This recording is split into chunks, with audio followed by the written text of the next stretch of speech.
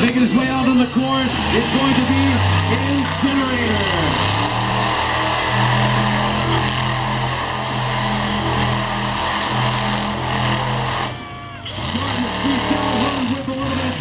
You guys think you want oh, here it comes. Incinerator starting with a donut.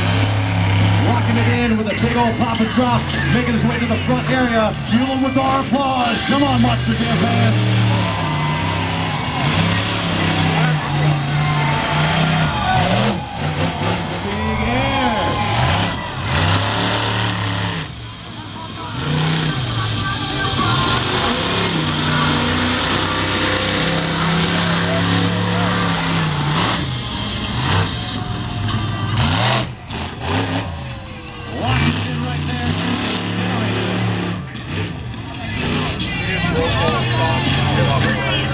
Like Incinerator is making his way around. We're going to check out the back end of Incinerator. Looks like it might be a shock tower.